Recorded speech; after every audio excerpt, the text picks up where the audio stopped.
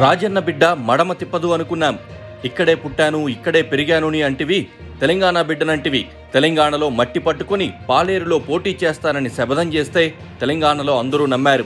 మన దగ్గర రెండు వేల కోట్లు ఉన్నాయి తెలంగాణ ఎన్నికల్లో కొట్లాడదాం తెలంగాణలో రాజన్న సంక్షేమ పాలన తెద్దాం అంటూ రాజన్న బిడ్డ అంటే నమ్మి ఆమె వెంట తిరిగి మోసపోయామని వైఎస్ఆర్టీపీ తరపున కీలక పాత్ర పోషించిన కొండా రాఘవరెడ్డి అనే నేత వాపోయారు.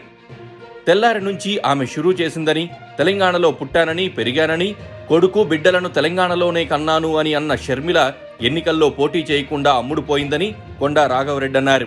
ఆంధ్ర ఆడబిడ్డ అని అందరూ అంటే బోనం తెలుసు బతుకమ్మ తెలుసు అంటూ అందరం నమ్మామని ఇప్పుడు తెలంగాణ ఆడబిడ్డ ఆంధ్ర ఈడబిడ్డ అంటోందని ప్యాకేజ్కి అమ్ముడుపోయిందని కొండా రాఘవరెడ్డి సంచలన కామెంట్స్ చేశారు. తెలంగాణలోని భూములమ్మి వంద కోట్ల రూపాయలు జమ చేసిన షర్మిల వాటిని తెలంగాణ ఎన్నికల్లో ఖర్చు చేసిందని అన్నయ్య జగన్ నుంచి ఆస్తి అడిగితే రాకపోయేసరికి చంద్రబాబు వలలో చిక్కుకొని ఆయన నుంచి వంద కోట్ల రూపాయలు తీసుకొని ఆంధ్రాలో పోటీ చేస్తోందని కొండా రాఘవరెడ్డి సంచలన ఆరోపణలు చేశారు.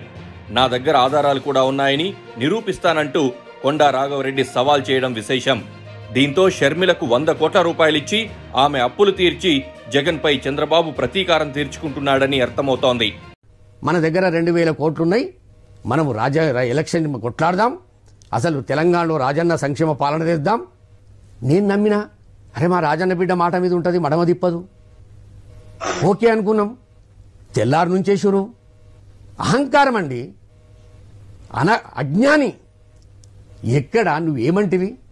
ఈడ ఉట్నాంటివి వీడ వెరిగినాంటి వీడ కన్నాంటివి నా బిడ్డ నీడగన్నా నా కొడుకు నీడగన్నా నాకు సెంటాన్స్ తెలుసు బోనం తెలుసు బతుకమ్మ తెలుసు బిర్యానీ తెలుసు ప్యారడైజ్ తెలుసు. తెలంగాణ మట్టి పట్టుకుంటివి పాలేర్లు నిలబడతాంటివి. ఇది రాజశేఖర రెడ్డి గారి రక్తానికి తగదు.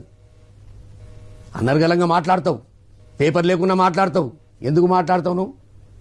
దీనికి ఒకటి ఇప్పుడు ఇవ్వాలని నేను చెప్తున్నా కొమ్మినేని గారు. దీనికి ప్రూఫ్ కాడికెళ్ళి తీసుకొస్తాను నేను. ఈమెకు చిన్న చిత్క ఆడో రెండు ఎకరాలు మా మొయినాబాద్లో రెండు ఎకరాలు శంకర్పల్లిలో రెండు ఎకరాలు భూపాలపల్లిలో పది ఎకరాలు ఇలా సొంత పేర్ల మీద కొన్ని భూములు ఉన్నాయి మున్సిపల్లి అనిల్ అనిల్ మీద ఆయన మున్సిపల్లి షర్మిల మీద. ఇవి అమ్మిండ్రు. ఒక వంద కోట్ల దాకా వచ్చినాయి. ఈమె నీళ్ళు ఈమెనే తాగింది ఈమె పాలు ఈమెనే తాగింది ఈమె టెంట్ ఈమెనే వేసుకుంది ఈమె బస్సు ఈమెనే తీసుకుంది. రోజు కూలీలో పెట్టుకొని పాదయాత్ర చేసింది నిండా మునిగింది. దీనివల్ల ఐదు మందో పది మందో ఆయనక తిరిగేటోళ్ళు రోజు కొంత లాభపడ్డారు భూములు కూడా కొనుక్కురు. వాడు కొనుక్కున్నాడు. వాడు కొనుక్కున్నాడు వీళ్ళు అమ్ముకోవటం వాళ్ళు- అమ్మిండ్రు వాడు కొనుక్కున్నాడు వాడు ఇంచుమించు వాని ఏమైనా ఏటీఎంలు క్రెడిట్ కార్డులు ఉన్నా లేకపోతే ఇన్స్టాల్మెంట్స్ ఉన్నా ఈఎంఐలో వాడు కట్టుకున్నాడు. వాడు మంచిగానే ఉన్నాడు. ఈమె అమ్ముకుంది పోయింది. దీన్ని ఈ నరరూప రాక్షసుడు చంద్రబాబు నాయుడు అమ్మ మంచి ఛాన్స్ దొరికింది.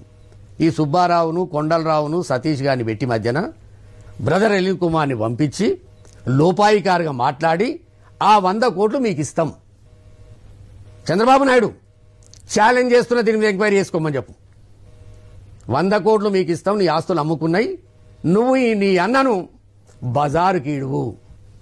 ఇష్టం వచ్చింది మాట్లాడు మేము డ్రాఫ్ట్ పంపిస్తాం ఇంటర్ ఎన్టీఆర్ ట్రస్ట్ భవన్కి వెళ్ళి. మేము చెప్పింది నువ్వు బట్టి పట్టాలి మాట్లాడాలి. ఏమని అర్థం ఉందా కొమ్మినేని గారు? అరే నువ్వు చచ్చిపోయిన కొత్త విషయాలు చెప్పారు. లేదు కొమ్మినేని గారు చచ్చిపోయిన పార్టీకి అసలు చచ్చిపోయింది కూడా కాదు స్కెల్టన్ కూడా లేవు బొక్కలు కూడా దొరికాయి. గా కాంగ్రెస్ పార్టీకి నువ్వు అధ్యక్షురాలుగా పోయి నువ్వేమనాలి? తెలంగాణ నుంచి ఏపీకి. ఇక ఆడబిడ్డ ఇప్పుడు ఈడబిడ్డ అయింది. అదొక సామెతలు. పూర్ణీయం.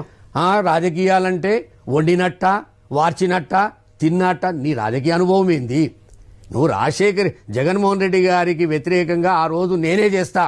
ఎక్కడన్నా భారతమ్మ గిట్ట చేసే పాదయాత్ర నాది ఉన్న విలువ అవుతుందని చెప్పి రా- విష